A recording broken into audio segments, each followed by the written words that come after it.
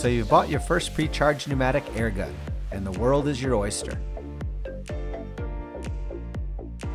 Depending on its caliber and sophistication, you could get over 100 shots per fill, or as little as 5. So what happens when you run out of air? Is the party over? Nope. You just recharge. But is it really that easy? Well, not really. Today, we're going to break it down and tell you everything you wanted to know about refilling an air gun, and then some.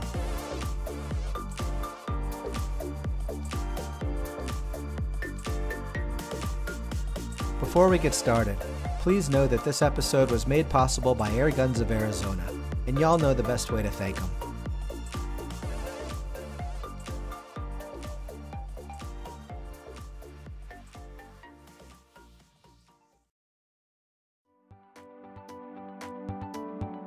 For propellant, precharged pneumatic air guns utilize compressed atmosphere.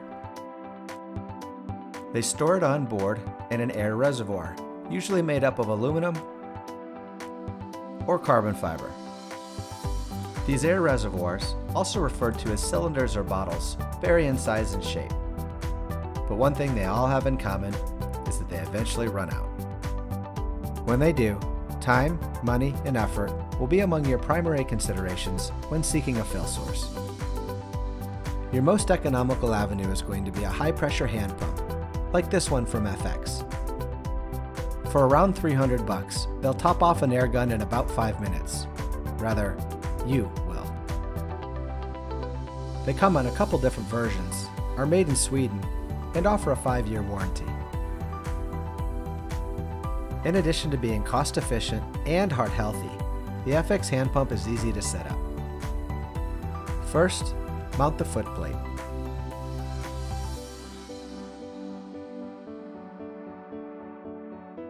To get the threads to line up properly, begin with a counterclockwise rotation.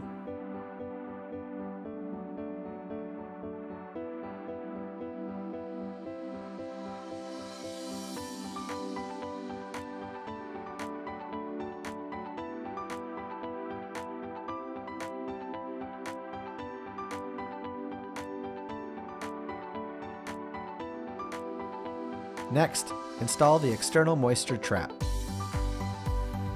This will help give any condensed water a place to pool, so it doesn't wind up on the innards of your gun.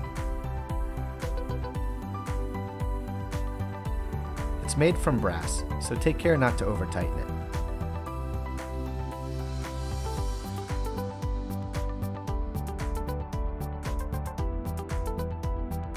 Now we install the air hose. Forget your seal.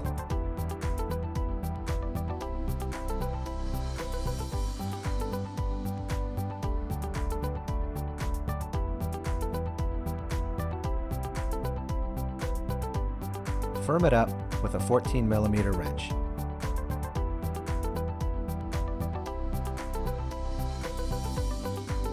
If you're going to dedicate your hand pump to a single air gun, thread and place the probe that shipped with your gun. Then snug it up with a pair of 14mm wrenches. In most cases, the fill probes are proprietary to the brand of air gun. So if you want to be able to use your hand pump for all the guns in your collection, in place of the fill probe, thread an adapter. The adapter you want is called a Foster fitting, with male threads and a female quick connect. Don't forget your washer seal between the two, and when tightening, mind the soft brass threads.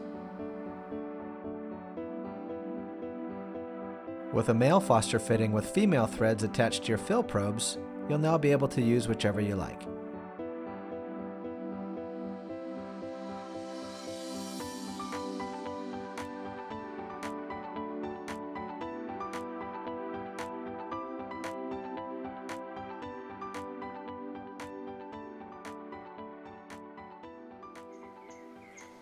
Recharging most air guns will go something like this. Remove your gun's protective fill cover and insert the fill probe or connect the quick connect. Close the ventilation screw, making sure it's finger tight. Bending at the knees and using your body weight, begin to pump. You'll notice the gauge on the pump is increasing pressure rapidly, where the gauge on the gun hasn't yet begun to move. That's because for these first few pumps, you'll be pressurizing the line between the pump and the gun, rather than the air reservoir in the gun itself. Once the pressure in the line exceeds the pressure in the gun's reservoir, the rifle will begin to fill. It's normal at this point for you to begin to feel increased resistance on the pump. Our example gun here is a Benjamin Marauder, whose normal working pressure is between 2000 and 3000 psi. What that means to you is that you'll be recharging once your Marauder shoots its way down to 2000 psi, and you'll be bringing it back up to 3000 psi with your hand pump. At just over 4 minutes later, my heart rate's up, and we're approaching 3000 psi. Feeling the burn, I'm using all 173 of my pounds to make it happen now. While it seems like we're exceeding the maximum allowable 3000 psi on the Marauder, airgun gauges just tend to be off in general, and I know this one's a bit optimistic. Once you're done pumping, twist open the ventilation screw quickly. This will blow out any moisture that's collected in the pump. The FX hand pump will be a good fit for you if you're just getting into air guns, are trying to keep the cost down, and don't mind a little exercise. It's easily portable and doesn't require electricity or gasoline, which means it's going to be good for a trip to the cabin or jammed in your backpack for an extended camping stay. I spent a month with this one and found it to be a rugged piece of hardware that should give you years of dependable use.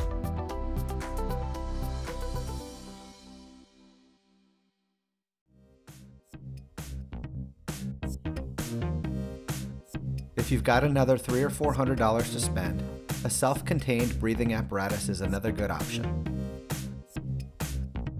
SCBA tanks offer a lightweight and convenient way to carry a lot of air along with you like a fireman. These tanks have distinct advantages over their scuba dive tank cousins. Constructed of aluminum and wrapped in composite, they're capable of much higher fill pressures than a scuba tank, which can be filled to about 3,000 pounds for aluminum and 3,400 pounds for steel. For air gunners, SCBA tanks come in sizes from about 10 cubic feet on all the way up to 100.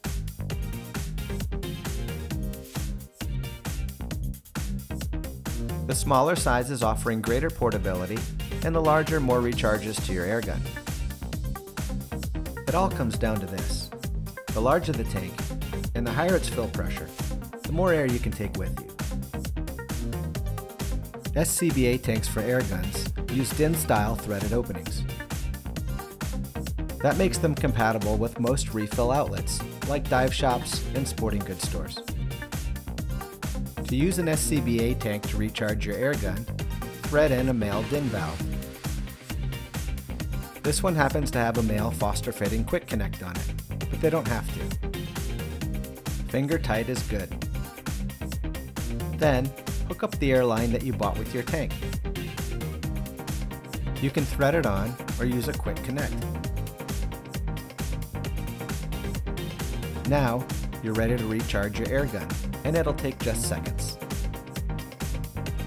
Charging goes a little differently with each gun, but you'll get the idea. In an instant, we're going to take this Daystate from about 2000 psi to 3300 psi.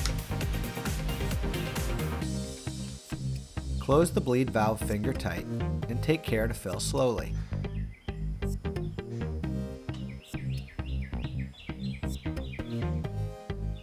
That popping noise is normal and happens when the air pressure in the line pushes open the valve in the gun's air reservoir. It's important to close the tank's valve and depressurize the air line before disconnecting from your gun.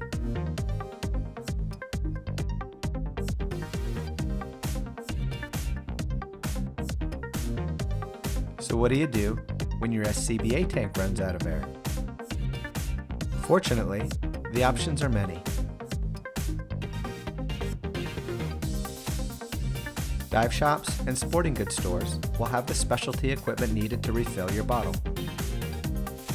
In my experience, expect to pay 10 to $15 and to leave it overnight so they can give it a cold top off in the morning. Because the air in your tank condenses as it cools, this will result in a more complete fill. Choose a shop that will take good care of your equipment, but as you can see here with mine, there's plenty of armor available to dress them up.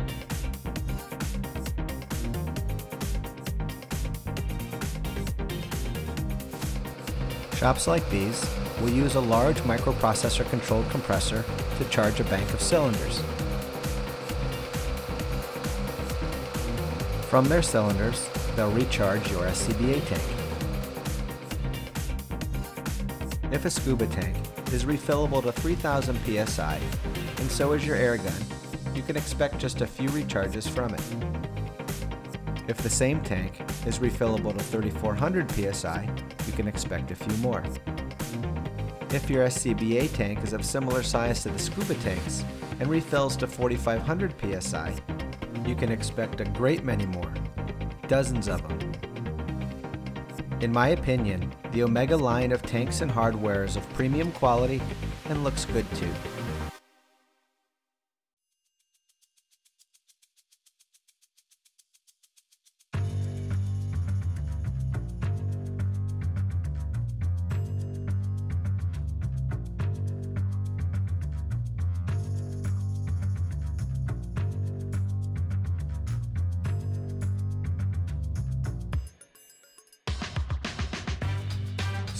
You didn't have to go to the dive shop or sporting goods store? What if you didn't have to leave it overnight or rely on someone else's schedule? What if you could refill your own SCBA tank or air gun from the comfort of, say, your living room? Well, now you can.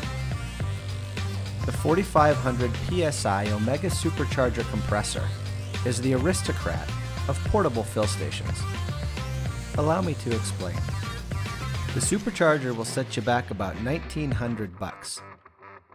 But this Epicurean air gunner is all in. Let's start with ease of setup.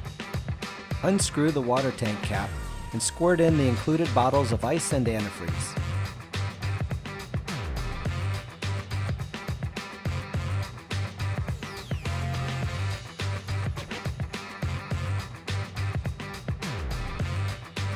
Filling to within an inch of the top, pour in a bottle of purified drinking water. Don't use distilled.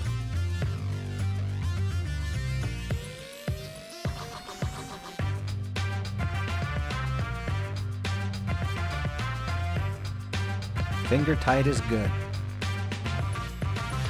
Next, set the self-draining device to your preference. Asking it to purge moisture for one second every 15 minutes is a good place to start. But the warm tropical air has already arrived in Central Florida. So I'll be setting mine to 2 seconds every 15 minutes. The longer and more frequent the moisture purge, the more time your tank will take to refill. But it's cool. I want dry air in my guns. At all times, make sure the overcurrent protector switch is in the reset position.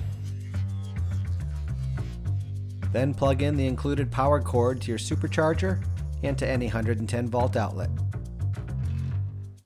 Grab the included air hose and make sure the blue Dowty seal is on the end. Righty tighty.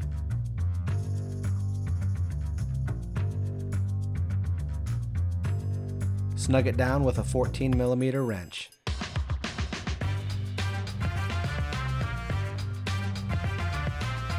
Don't over tighten. Now your Omega Supercharger is ready to go.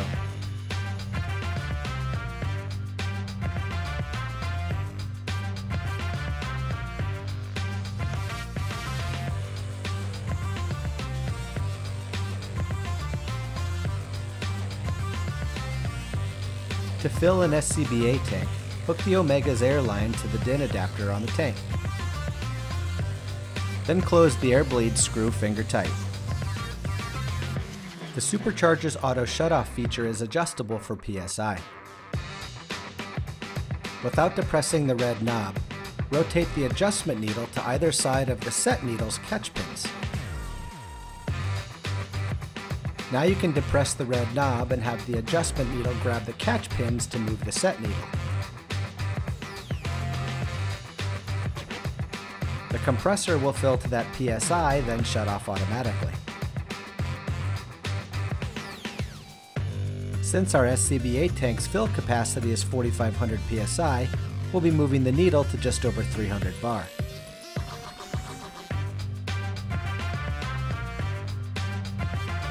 And there's even a second needle hiding behind the set needle so that you can mark your starting point. Filling couldn't be easier. Throw the main power switch to the on position. Close the bleed valve on the compressor and hit start.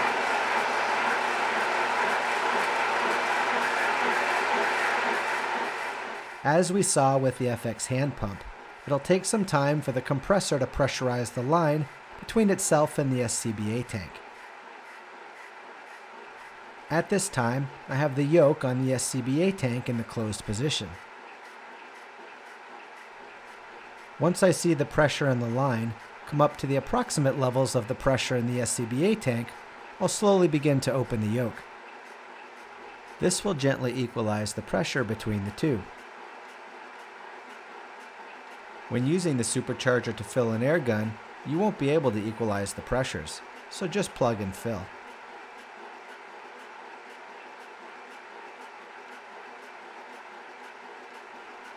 With the SCBA tank's yoke open now, it's accepting air from the compressor. As prescribed, our self-draining device is going to purge moisture for a duration of 2 seconds, right at the 15 minute mark.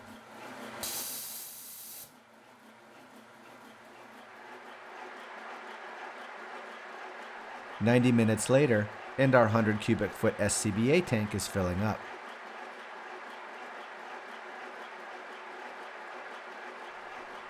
If for some reason air pressure exceeds 4800 psi, the burst disc on the compressor will rupture. If it does, the supercharger ships with additional discs. The sound the supercharger makes reminds me a lot of a dishwasher, and it's about as loud as a washing machine. Here it is again without volume reduction.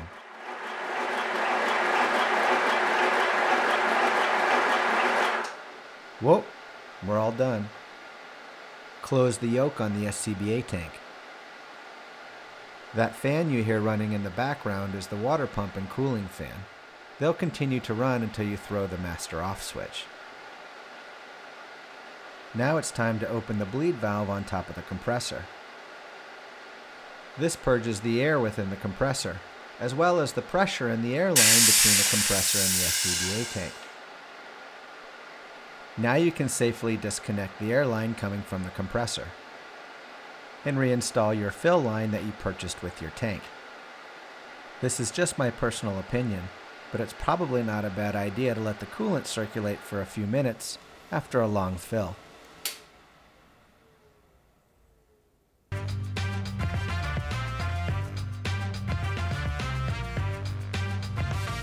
Supercharger's owner's manual comes with a complete breakdown of your maintenance schedule. But here's the Reader's Digest version. After every 4 to 6 hours of operation, make two complete clockwise turns of the grease knob on top of the compressor. This oils the upper cylinder piston. After every 20 hours of operation, undo the magnetized fill plug on the side of the gearbox and wipe it clean of any metal shavings or particles and every 3,500 hours replace the gear oil and the coolant. Detailed instructions ship with the compressor.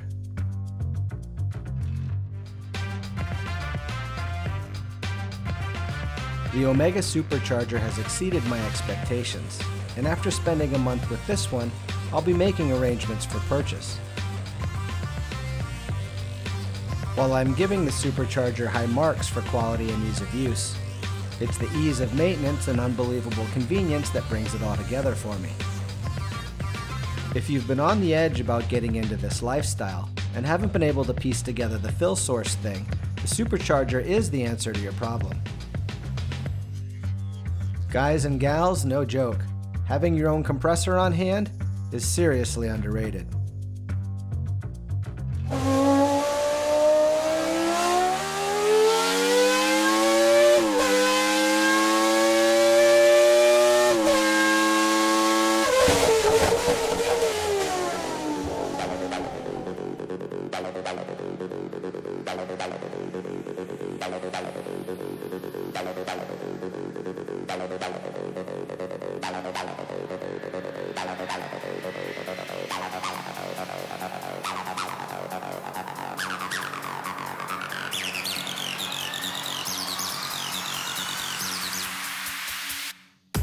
If speed and the ultimate and commercial grade are your thing, then the Daystate 4500 PSI compressor won't disappoint.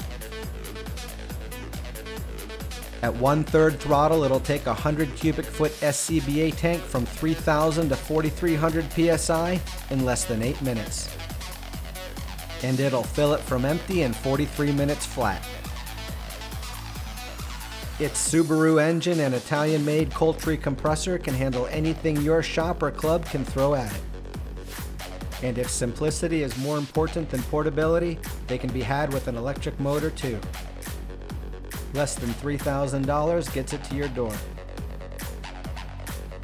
Setup and pre-flight checks are straightforward and easy. To open the compressor's push lock dipstick, grip it tight, rock it back and forth, and pull. Wipe it clean, reinsert, and make sure the oil is somewhere in between the hash marks.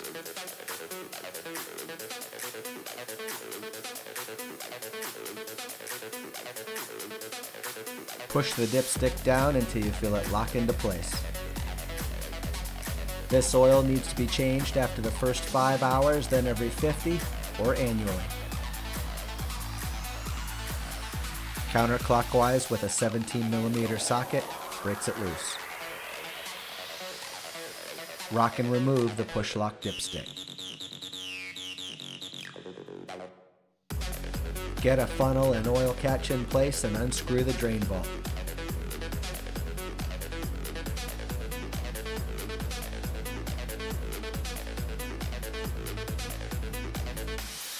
Tilting one side up ensures a more complete drain.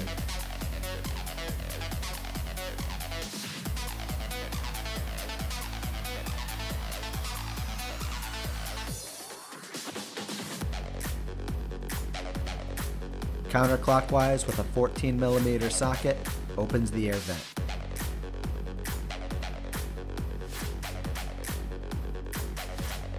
Refill with the supplied Coltri compressor oil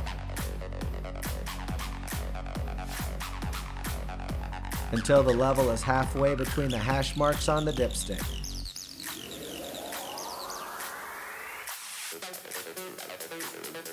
Close it all up and take care not to over tighten anything.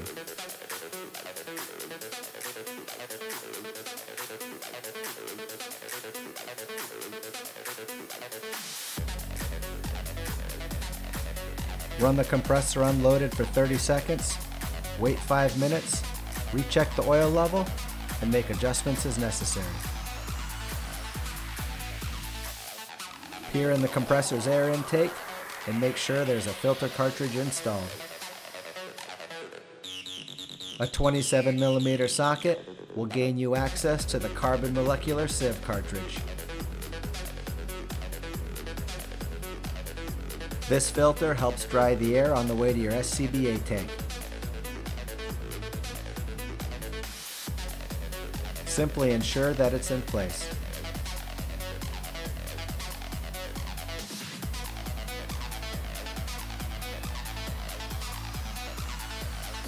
Snug it up. Unscrew the dipstick on the Subaru engine, and remember, it ships dry. Refer to your owner's manual for the proper viscosity in your area and fill to overflowing.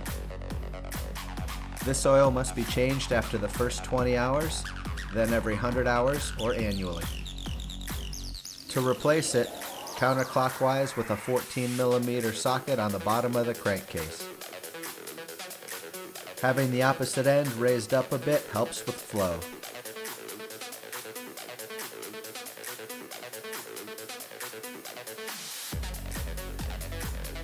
Snug it up.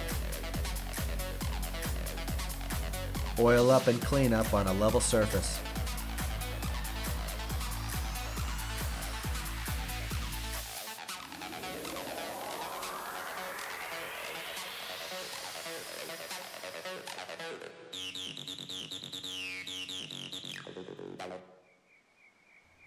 The Daystate compressor has two condensation drains. Starting with them both in the open position, we'll unload the engine for startup. To start the Subaru motor, push the fuel petcock to the on position. Apply the choke and move the throttle lever to one quarter.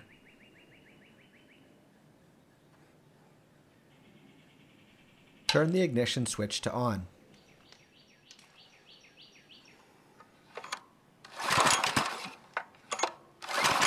If the choke is not needed, turn it off.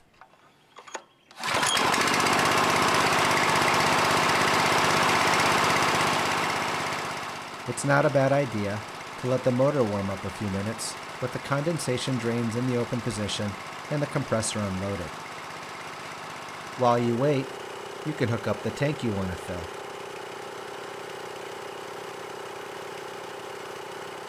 Make sure the tank's yoke and air bleed screw are closed tight.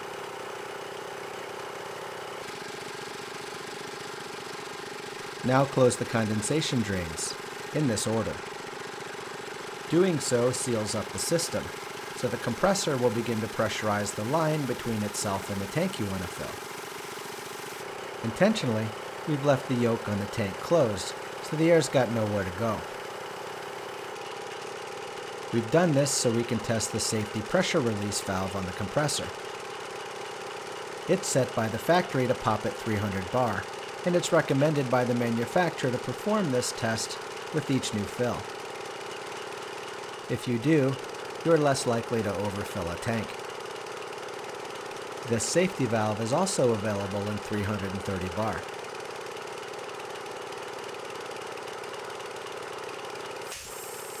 Just as we did with the Omega supercharger, you're now free to slowly open the yoke and equalize the pressure between the tank and the compressor. Every 10 to 15 minutes, you'll want to briefly open the condensation discharge valves in this order.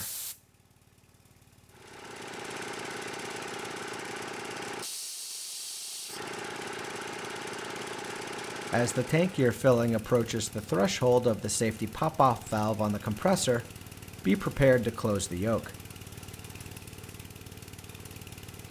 You'll know you're close when the valve begins to hiss.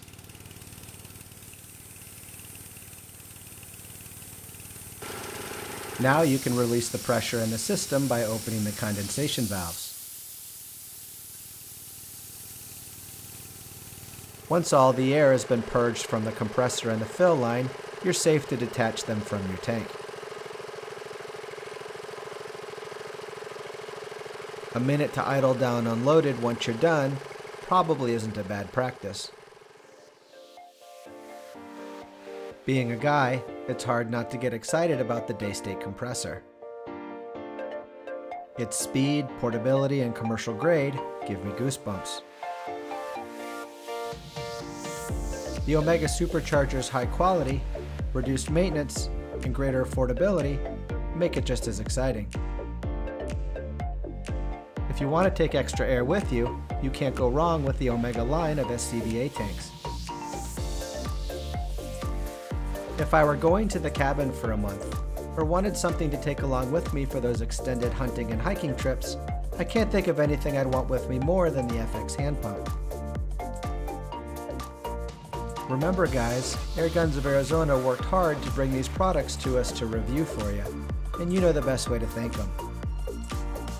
As for me, I put a lot of heart into making you a nice review, so if you want to encourage us to make more videos like it, please be sure to subscribe, tell your friends about us, and give us a thumbs up in the comment section. If you're thinking about purchasing any of these products, I'll leave you links in the description so you know how to find them. Thanks for watching, and I'll see you again real soon.